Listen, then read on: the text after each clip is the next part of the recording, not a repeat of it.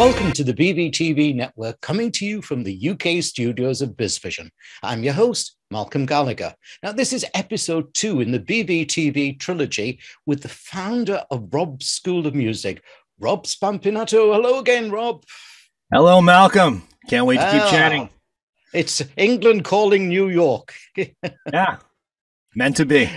Yeah, I mean, I suppose in the old days, you know, every musician, the UK musician, wanted to crack the big, uh, the the big American market, but very few did. Why was that? Do you think?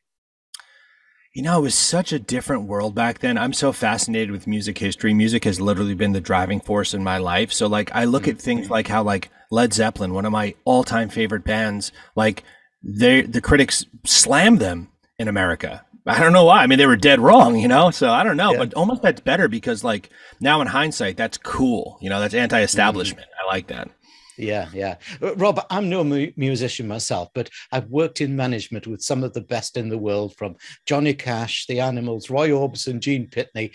All of them seem dead to me, but never mind, and many more. Watching them work, they made it seem effortless, but I know it's not. It's a constant crafting of ability. Can online lessons get you to anywhere near that level of proficiency, perhaps even to making some money from, say, gigs or adverts? Absolutely. And that's something we focus on in our whole program. We always get, as I said previously, we get to the why. So if someone's goal mm.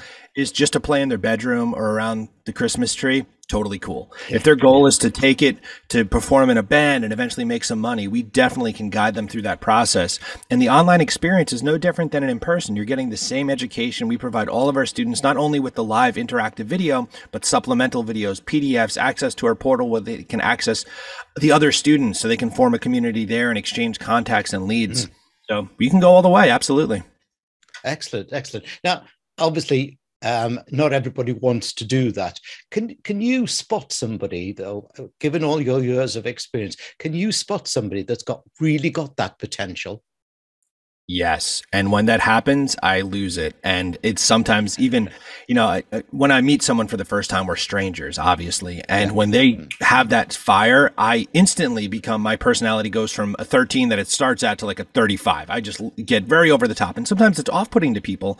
And I let them know, like, you don't understand, like, it's so exciting and refreshing to see someone who naturally has this thing hidden inside of themselves and then we cultivate it and i think that's really a cool thing about what we do here is it because we're not following a strict specific curriculum it allows us to take we have one student and she hates using a pick and that's like a no-no because you have more articulation with the pick but she does this cool thing where it's like hybrid finger picking but it's strumming it's very unique to just her and i think she's going to take it all the way Wow, wow. And um, you, you, of course, can help people right the way through that process. It's not just to teach them how to play an instrument, is it? No, not at all. So we work with our students um, on songwriting. If they want to take it to building their own social media, we can focus on that. We can focus on branding. We're sort of a one-stop shop in branding of future artists. I hate to use the word artist development because that's not that like in music, that's like such a taboo thing to say. But mm-hmm, if a mm-hmm. student wants to go a particular direction, we definitely have the manpower because all of the teachers, we're all college educated musicians. We are all still currently recording and touring and making music outside of our teaching job. So it's real world pr- practitioners paying it forward to up and comers. Yeah, I, I, like that because um, you know in the old days you were you were caught by the record companies and they had you by the whatever you want to call it, you know. Um, but now there's so many opportunities, aren't there? Yes, and you can do it all on your own with social media. Mm. You know, even back when I was coming up, when I was in high school, I graduated high school in 2001. And in 2001, 2099, when I was starting my bands, to have a CD out cost you $2,000. To have a website cost you $2,000. To go book shows costs you a couple hundred bucks because you have to sell tickets to be able to play. Now you can sit in your house, throw on Twitch, throw on Zoom, invite your friends on YouTube, play some music, throw out a digital tip jar, put your website on social media, SoundCloud. You can get it on Spotify. It, it's all, you can become an independent musician and actually thrive in such an easier world than when I started, you know, 25 years ago, 20 years yeah, ago. Yeah, yeah, because the, the sharks are maybe not around as much as they used to be. Is that correct? Uh, you know, they're still there. They're there, but yeah. they've learned their place because there's so many artists who are able to do it without any help from anyone else. And that just takes, you know, hustle. It, it, it's life. I mean, it, the world is out there more so than ever with a good teacher and a good set of talent and a good song, there's nothing stopping you from taking it out to the world. Excellent. I like that. And I just like also this this constant hand holding that you've got with with people that they're becoming part of your community rather than a student aren't they 100% we look at it as family you know i've come from a strong uh, italian heritage and it's all about yeah. family you know like we we have a you know we'll do concerts within our students and we all go out to a giant dinner afterwards like you know the people that are here yeah. in, in, new york. But even virtually we've done virtual hangouts. We did a two week long um, digital camp last summer or summer 2020 i'm sorry. And we had people we had songwriters from sweden jumping in and iceland and just all these different places. And we were all just here on zoom hanging out like we're in person. So we were a family a big community. Yeah yeah and i really like that about what about rob school of music that community because you know musicians can be lonely there's no doubt about it as they as they're sitting in their bedroom play, strumming away or whatever they're trying to do and they really need to be able to interact with other musicians, don't they? To be able to make the melody, if that's the expression. Yep, totally. And then another really cool thing about this virtual world, and this is newer technology, we haven't quite come to a place where we could jam simultaneously virtually.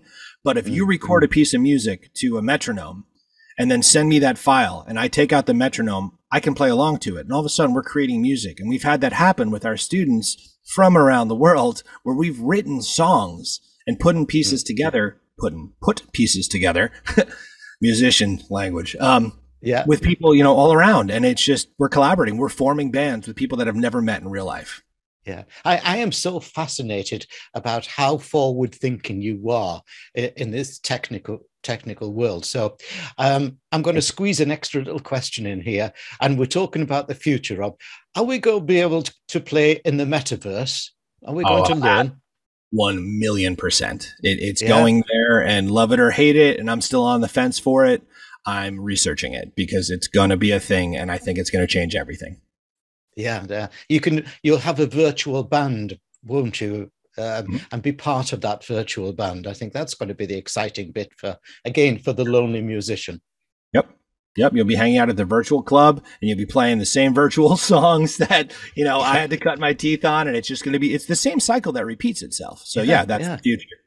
Yeah, yeah, and uh, you know, rather than going out to the arenas and have managed those, you'll be you'll be sitting in your own arena at home. Fascinating. Now, thanks, Rob. Now let's give viewers and listeners details of your URL, uh, where they can come and find out all about you and the community and the lessons and so on. Uh, the the URL you can see on the screen behind me, viewers. But let me spell it out for listeners, and it's all the W's, all the W's. Rob's R O B S schoolofmusic.com. So don't forget, there's two S's in the middle there, robsschoolofmusic.com. Go there, find out not just more details about Rob and his huge mix of music learning, but also details of these exciting online lessons. Get you really started. It really is an exciting offering that Rob, a true visionary entrepreneur, has developed for anyone, anywhere in the world using technology. And that's what I want to explore with him in episode three his vision for the future. Are you up for that, Rob? Can't wait. Can't wait. I got a lot to say. Thanks so much for having me, Malcolm. I look forward to it.